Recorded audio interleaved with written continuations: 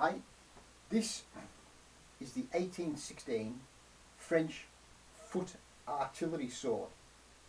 Introduced 1816. In 1831 the pattern changed slightly in that the hilt was given this circular pattern. That happened in 1831.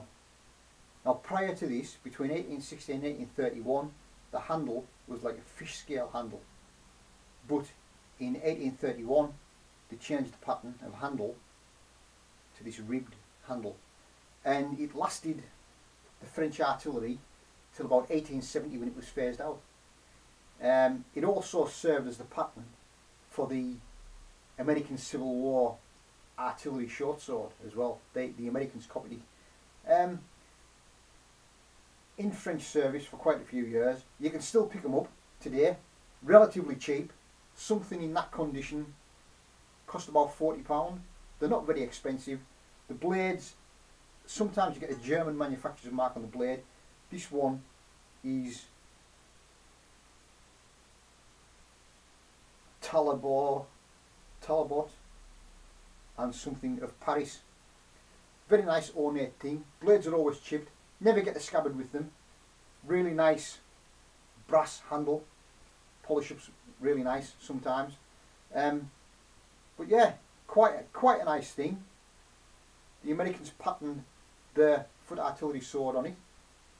But that's the French foot artillery sabre from 18 what did I say 1813 right the way through to 1870 long service life some were held for ornamental purposes most are now surplus not widely collected.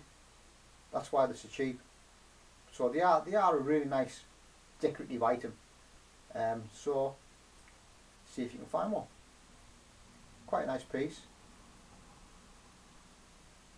And that's that's the condition you always get them in. They're always they're always in that scabby blade type thing. Um, we've got the manufacturer's manufacturer's details are stamped there. Sometimes the German this is a Paris one.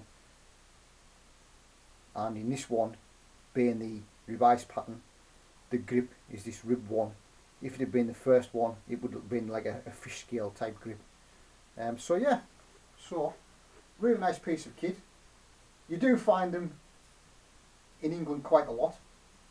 Um, so that's that one. So we'll see you for another video